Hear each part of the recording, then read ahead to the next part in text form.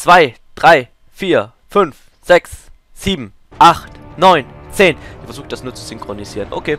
Hallo und herzlich willkommen zu einem Dual Commentary hier und Dings und so. Ich habe einen Gast bei mir und ich werde Ihnen jetzt ein paar Fragen stellen, die er beantworten wird. Neues Format, just for fun. Hi Sharky, wer bist du? Ähm, also ich bin Shark Rockt, also ein YouTuber.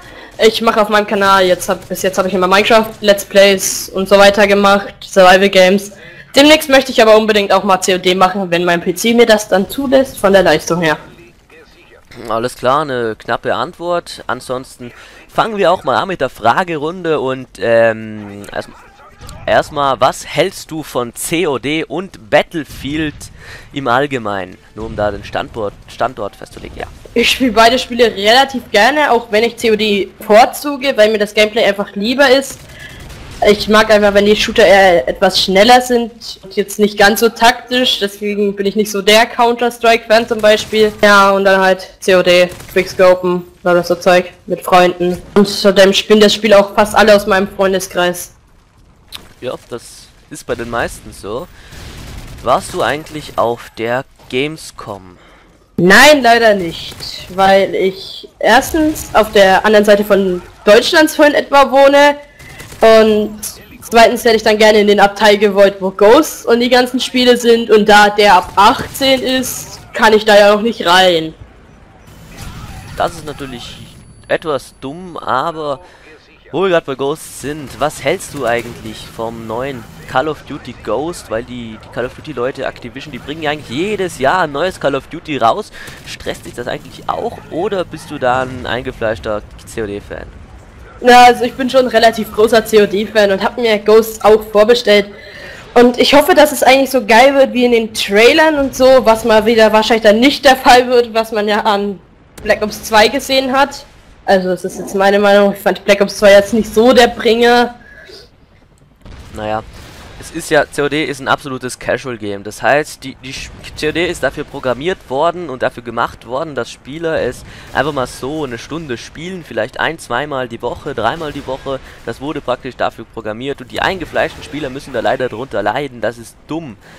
Äh, wo wir gerade bei CODs sind und Battlefield ähm, 4 ja auch neu angekündigt wurde. Also das neue Battlefield 4 mit der richtig geilen Grafik. Hast du da dich informiert? Battlefield 4, hast du mal überhaupt irgendein Battlefield-Teil gespielt? Und was hältst du von Battlefield 4? Und kann man die Spiele eigentlich miteinander vergleichen? Also, ja, ich habe Battlefield gespielt, Battlefield 2, Battlefield Bad Company 1 und 2 und Battlefield 3. Also ah, jeweils auf den Konsolen. Geile Story Bad Company 2. Okay, sorry, weiter. Ja, ich habe es nicht weitergespielt. Ähm, ja, und ich habe jetzt eigentlich noch Beta-Zugang zu Battlefield 4. Den habe ich aber, glaube ich, gar nicht eigentlich eingelöst. Was mich eigentlich ziemlich ärgert. Aber nein, ich finde, man kann die Spiele nicht miteinander vergleichen. Das sieht sowohl vom grafischen her, vom Spiel, vom Spielgeschehen, von, also die sind komplett unterschiedlich. Auch wenn es in beiden einfach nur darum geht, den Gegner den Kopf wegzuballern. Das stimmt. Äh, ja, wenn wir jetzt gerade bei Fragen sind, hier mal eine ganz ähm, persönliche Frage. Was hältst du zu Hipstern? Ich... Jeder kann Hipster sein, wie er will, wenn er wirklich diese Lebenseinstellung leben möchte. Aber mich nerven nur diese möchte gern Hipster, die mit ihrem die immer halt Mainstream sind. Also die denken, sie sind anti-Mainstream, aber gehen trotzdem mit. Jetzt ist der Hipster in, was kommt als nächstes? Dann gehen sie jetzt wieder zum nächsten. Und Essensfotos. Ganz klar. Ja, das, das regt uns beide auf. Essensfotos, der Tod auf YouTube. Und hier mal eine, eine auch persönliche Frage, äh, wo ich ja, also relativ großer Fan davon bin. Was hältst du von Animes? Sorry, da draußen aus dem Fenster ist gerade ein Flugzeug abgestürzt. Okay, mach. ähm, naja, ich habe jetzt nicht unbedingt viel dir, also Animes geschaut. Ich habe damals halt Yu-Gi-Oh! Pokémon geschaut, was wahrscheinlich jeder geschaut hat. Hoffe ich jetzt zumindest mal. Ansonsten haben die ziemlich viel in ihrer Kindheit verpasst. Naja, Yu-Gi-Oh! und Pokémon ist jetzt nicht so...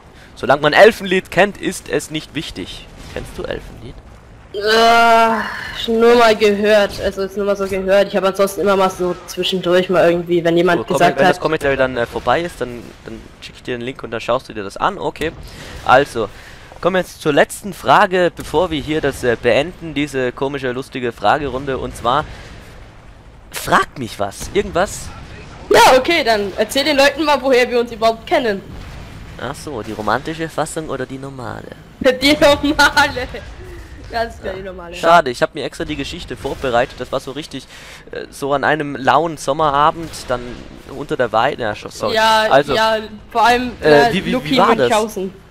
Ich, ich glaube, ich habe dich angeschrieben oder du hast mich angeschrieben und äh, ich habe da halt keine Rechtschreibfehler drin gemacht und äh, das hat dich halt fasziniert und deshalb äh, äh, Skype äh, angefragt und dann äh, äh, kein Plan, äh, COD irgendwann Warte mal, ich log mich. Log mich mal in meinen alten Account ein, dann kann ich mal schauen. Das könnte eigentlich das eigentlich sein. sein. Ja, ja. Wir haben ja Zeit, wir haben ja Zeit, hier ist ja kein Problem. Was Ist ja nicht so, dass irgendjemand das anschauen würde und sich da jetzt gerade aufregt. Ne? Nein, also, du, also, du hast mir geschrieben, äh, es ist die, ja, gibt gar nicht mal, aber du hast mir irgendwas geschrieben, dass du irgendein Video, ja genau, das Xbox von mir, Xbox Black Ops voll gefeiert hast, oder cool fandest.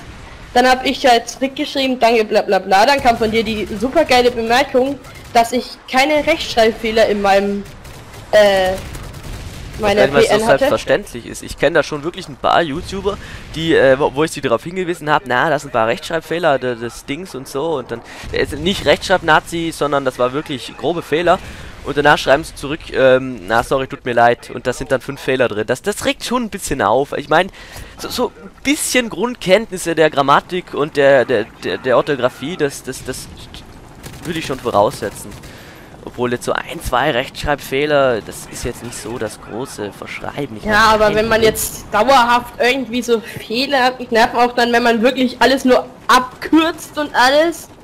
Also andere Begriffe einfach wie Abkürzung wie Chichi und lauter so Zeug benutzt. Wenn dann deine halbe Nachricht nur aus HDL oder sowas besteht und du dann erstmal entziffern musst, was hier überhaupt geschrieben wird. HDL, hab dich lieb, na egal.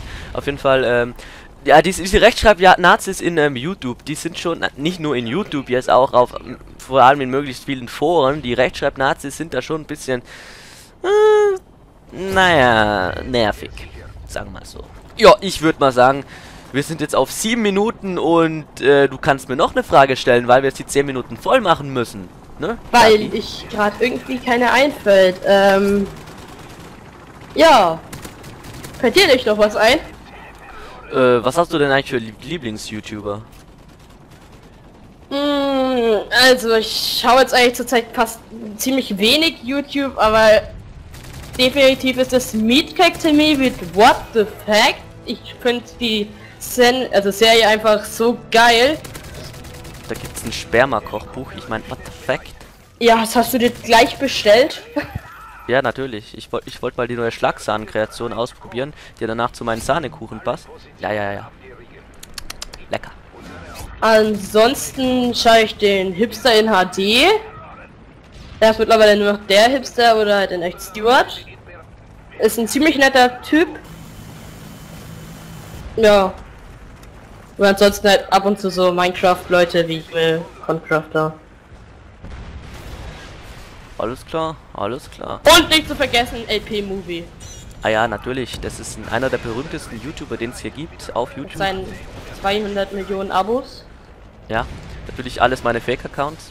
Ich glaube, ich habe mich am Anfang tatsächlich versehentlich, das war versehentlich, selbst abonniert mit einem anderen Account, hab's danach aber wieder gelöscht. Das war... Es gab bei YouTube gab es mal den Bug, dass man sich wirklich mit seinem eigenen Account selbst abonnieren konnte. Wirklich jetzt? Ja, das ein ging damals Abonnent.